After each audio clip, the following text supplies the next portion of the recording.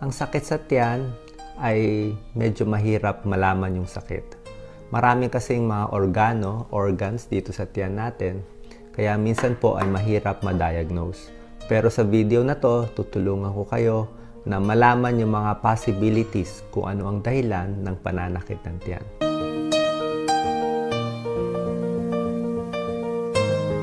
Okay? Number one, ang isang possibility ay ang sakit ay nanggagaling sa sikmura.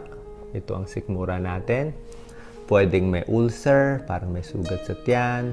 Pwedeng hyperacidity, nangangasim. Pwedeng GERD, gastroesophageal reflux disease. Ito yung may asido sa tiyan, nangangasim. Tapos aakyat sa esophagus, sa lalamunan. Pakiramdam nito parang maasim, mahapdi dito sa gitna ng tiyan. Minsan parang laging gutom. So, halos pare-pareho itong mga sakit. Ulcer, hyperacidity, tsaka GERD. Okay, that's one possibility. Pangalawa naman, pwede po yung gallbladder stone o tinatawag din na gallstone o yung bato sa abdo. Ito yung atay natin. Sa ilalim niyan may gallbladder. Madilaw yon At ang sintomas nito, masakit yung sikmura. At minsan dito sa may bandang kanan at paitaas ng sikmura. Kadalasan sumasakit yung gallstone pag kumain tayo ng mamantika, matataba. Kasi syempre pag oily foods, nagko-contract yung gallbladder. Mahap dito. Okay? So, that's second possibility. Pangatlo naman, meron din tinatawag na pancreatitis, yung lapay. Nasa likod to ng tiyan eh, hindi na natin mapapakita. Pero yung acute pancreatitis, sobrang sakit yon dito sa may sikmura, tumutugon sa likod.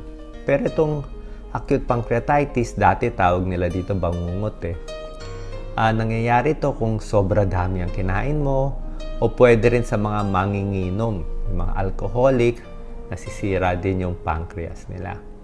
Number 4, sa mga kababaihan, merong mga sakit tulad ng sa ovary o sa matres. Sa mga babae, pas- possible magkaroon ng ovarian cyst. Masakit yung ovarian cyst. Sa may bandang puson, pwede sa kaliwa o sa kanan.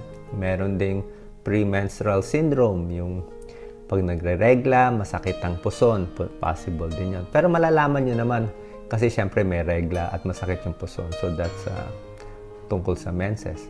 Panglima naman, meron din tinatawag na problema sa kidneys, sa bato, at sa pantog, sa bladder. Merong infection sa ihi, okay? So urinary tract infection, masakit yan pag umiihi tayo, medyo madilaw yung ihi Tsaka yung sakit ng UTI sa may pantog, sa may organ, at medyo sa may singit. Possible din na imbis na UTI, meron ding kidney stones, bato sa kidneys o bato dito sa daanan ng ihi. Napakasakit yung kidney stones.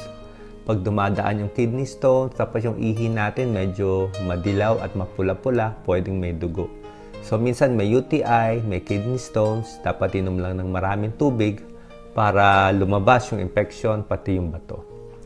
Number 6, meron ding sakit sa tiyan na dahil sa kabag. Ito, mga large intestine, small intestine, or tinatawag natin colic. Siguro marami ka nakain o magtatae, may nakaing sira. So, mahangin yun tiyan, makabag, maingay ang tunog, at minsan magtatae. So, colic lang to. At lastly, meron siyempre laging possibility na may cancer. Okay? Uh, bihira lang naman to pero dapat uh, pag-uusapan natin to. May cancer sa tiyan, may cancer sa sa large intestine, sa colon. So, binabantayan din natin to. So, sa mga possibilities na to, mas maganda po uh, magpapa-ultrasound tayo ng tiyan. Ultrasound of the whole abdomen, may kamahalan, at makikita yung mga ibang organs. Okay? Pero hindi naman lahat makikita. Pero marami na makikita sa ultrasound ng tiyan. And magpapacheck tayo sa gastroenterologist, yung doktor para sa tiyan, para malaman yung sakit.